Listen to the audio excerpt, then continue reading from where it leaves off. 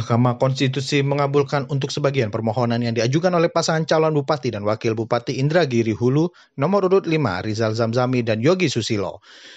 Mahkamah memerintahkan kepada Komisi Pemilihan Umum Kabupaten Indragiri Hulu untuk melakukan pemungutan suara ulang di TPS 3 Desa Ringin, Kecamatan Batang Gangsal dalam waktu paling lama 30 hari kerja sejak diucapkannya putusan mahkamah ini.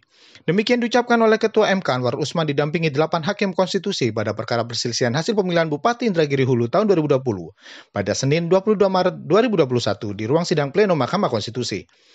Dalam pertimbangan hukum yang dibacakan oleh Hakim Konstitusi Eni Nurbaningsih, Mahkamah menemukan fakta persidangan mengenai terjadinya penyobekan sebanyak 76 surat suara di TPS 3 Desa Ringin, Kecamatan Batang Gangsal, yang dilakukan oleh KPPS 6 atas nama Rio Andika Saputra.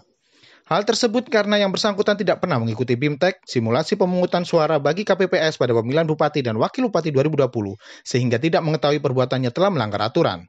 Eni menyampaikan saksi M. Khairul Anwar menerangkan dalam persidangan bahwa dari ke-76 surat suara tersebut, suaranya terbagi rata yaitu untuk pasangan calon nomor urut 1 sebanyak 10 suara, untuk pasangan calon nomor urut 2 sebanyak 15 suara, pasangan calon nomor urut 3 sebanyak 30 suara, pasangan calon nomor urut 4 sebanyak 17 suara, dan pasangan calon nomor urut 5 sebanyak 4 suara.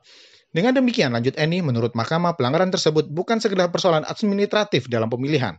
Hal tersebut sangat mendasar karena berkaitan dengan prinsip penyelenggaraan yang mampu menjamin terjadinya kemurnian suara pemilih secara konstitusional dilindungi hingga dilakukannya rekapitulasi hasil perolehan suara sampai tingkat kabupaten.